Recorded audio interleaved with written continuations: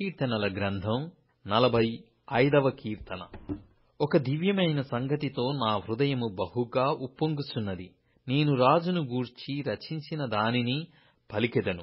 నా నాలుక త్వరగా వ్రాయు వాని కలము వలెనున్నది నరుల కంటే నీవు అతి సుందరుడవయ్యున్నావు.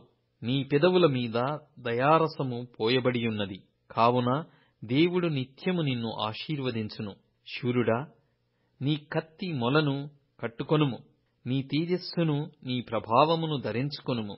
సత్యమును వినయముతో కూడిన నీతిని స్థాపించుటకు నీ ప్రభావమును ధరించుకొని వాహనమెక్కి బయలుదేరుము. నీ దక్షిణహస్తము భీకరమైన వాటిని జరిగించుటకు నీకు నేర్పును. నీ బాణములు వాడిగలవి.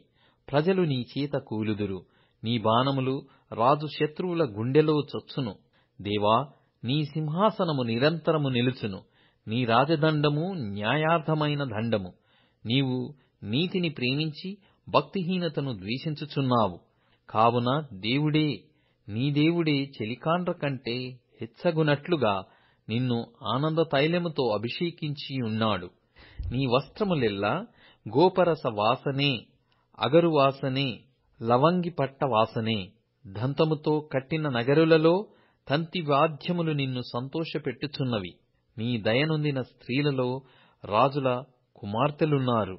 రాణి ఓఫీరు అపరంజితో అలంకరించుకొని నీ కుడిపార్శ్వమున నిల్చుచున్నది. కుమారి ఆలకించుము ఆలోచించి చెవియోగ్యము నీ స్వజనమును నీ తండ్రి ఇంటిని మరువము నీ రాజు నీ ప్రభువు అతడు నీ సౌందర్యమును కోరినవాడు. అతనికి నమస్కరించుము. తూరు కుమార్తె నైవేద్యము తీసుకుని వచ్చును. జనులలో ఐశ్వర్యవంతులు నీ దయను వెదకుదురు. అంతఃపురములో నుండి రాజకుమార్తె కేవలము మహిమగలది.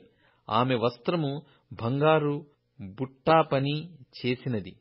విచిత్రమైన పనిగల వస్త్రములను ధరించుకొని రాజునొద్దకు ఆమె తీసుకుని రాబడుచున్నది.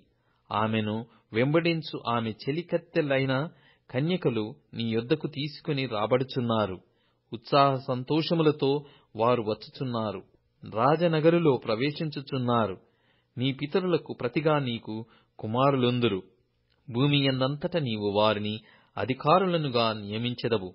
తరములన్నిటిను నీ నామము జ్ఞాపకముండునట్లు నేను చేయుదును. కావున జనములు సర్వకాలము నీకు కృతజ్ఞతాస్తుతులు చెల్లించెదరు.